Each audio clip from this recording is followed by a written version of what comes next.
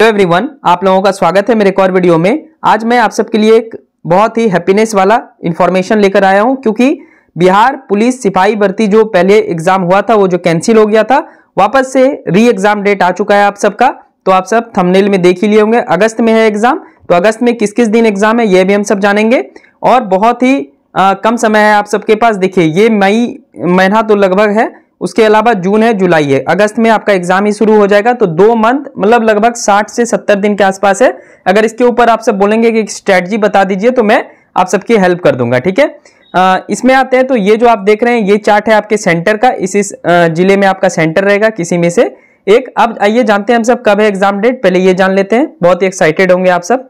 Official site पे आपका आ चुका है तो इक्कीस हज़ार तीन सौ इक्यानवे पोस्ट के लिए ये वैकेंसी थी। इसका जो एग्ज़ाम होगा, ये सारे डेट में एग्ज़ाम होगा और एक पाली में एग्ज़ाम होगा, ठीक है? यानी सात आठ दो हज़ार चौबीस को एक पाली में एग्ज़ाम हुआ, फिर ग्यारह आठ को होगा, यानी अगस्त महीने में आपका एग्ज़ाम है, फिर अठारह आठ का होगा, फिर होगा इक्कीस आठ का, ठीक है? यानी सात ग्यारह अठारह इक्कीस तारीख, ये सारे अगस्त महीने की बात हो रही है। इसके अलावा भी है, ये चार डेट के अलावा तीन और डेट जैसे 25 आठ 2024, 28 आठ 2024 और 31 आठ 2024 के बीच आपका एग्ज़ाम होने वाला है एक पाली में ठीक है?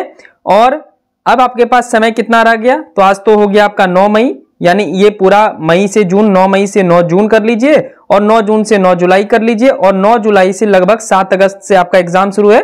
तो मान लेते हैं कि 80 से 90 दिन आपके पास है। तो स्ट्रेटजी क्या होना चाहिए? तो जीके जीएस पे बहुत ज़्यादा फोकस करें। उसके लिए आप हमारे चैनल पे बहुत सारे वीडियोस हैं एनसीईआरटी के आप वो देख सकते हैं।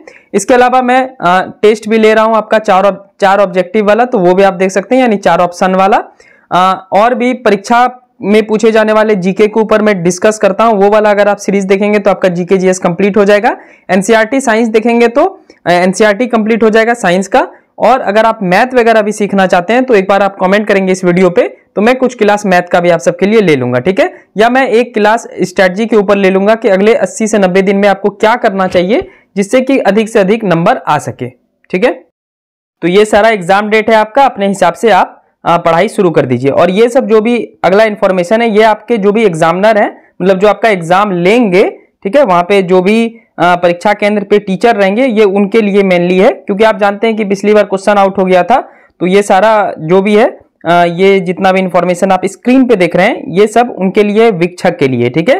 वो मतलब 25 तारीख तक ईमेल करना है उनको कि कहाँ का सेंटर खाली है। और जो पिछली बार मतलब जो भी महाविद्यालय या विद्यालय विवादास्पद रहा था मतलब जहाँ पे चोरी हुई थी क्वेश्चन आउट होने की, उनको इस बार सेंटर नहीं दिया गया है। अच्छे विश्वविद्यालय, अच्छे महाविद्यालय को सेंटर दिया गया है।